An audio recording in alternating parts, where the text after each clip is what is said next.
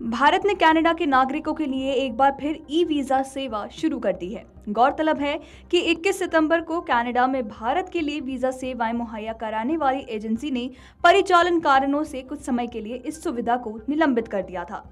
BLS international की ओर से जारी आदेश में कहा गया है कि ऑपरेशन कारणों से तत्काल प्रभाव से कनाडा में भारतीय वीज़ा सेवाओं को अगली सूचना तक निलंबित कर दिया गया है।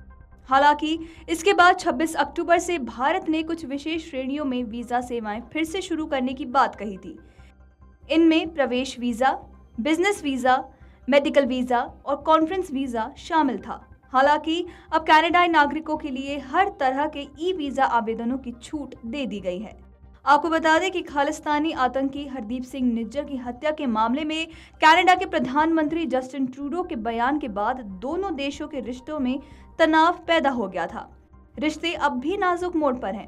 पहले कनाडा की तरफ़ से भारत जाने वाले यात्रियों के लिए ट्रैवल एडवाइजरी जारी की गई। इसके बाद भारत ने खालिस्तान समर्थकों के खतरे के मद्देनजर भारतीय नागरिकों के लिए भी एडवाइजरी जारी की थी। भारत और कनाडा के रिश्तों पर जमी बर्फ़ पिघलती हुई नज़र आ रही है। दरअसल, भारत ने कनाडाई नागरिकों के लिए ई वीज़ा सर्विसेज़ फिर से शुरू कर दी हैं। समाचार एजेंसी एएनआई के सूत्रों के हवाले से ऐसी जानकारी मिली है कि पिछले दो महीने से कनाडाई नागरिकों के लिए भारत ने इलेक्ट्रॉनिक वीज़ा सर्विसेज़ पर रोक लगाई हुई थी। ऐसे में, एक बार फिर से वीज़ा सर्विस बहाल होने के बाद कनाडाई नागरिक भारत की यात्रा कर पाएँगे। दरअसल, कनाडा ने सितंबर में खालिस्तानी आतंकी हरदीप सिंह निज्जर की हत्या का आरोप भारतीय एजेंट्स पर लगाया था। इस वजह से दोनों देशों के संबंध काफ़ी खराब हो गए थे। कनाडा के प्रधानमंत्री जस्टिन ट्रूडो ने संसद में कहा था कि कनाडाई नागरिक निज्जर की जून में ब्रिटिश कोलंबिया प्रांत के सरे शहर में गुरुद्वारे के बाहर हुई हत्या को भारतीय एजेंट्स ने अंजाम दिया था। इसके बाद 21 सितंबर को भारत ने कनाडाई नागरिकों के लिए ई वीज़ा सर्विसेज़ पर रोक लगा दी थी। भारत सरकार ने ट्रूडो के आरोपों को सिरे से खारिज कर दिया था। भारत ने कनाडाई प्रधानमंत्री के आरोपों को बेतुका और राजनीति से प्रेरित बताया था। नई दिल्ली से ऐसी खबर आई थी कि अगर कनाडा को सच में लगता है कि निजा की हत्या में भारत का हाथ है तो उसे अपने इस दावे को साबित करने के लिए सबूत पेश करने होंगे। इस घटना के बाद से ही दोनों देशों के संबंध बिगड़ गए।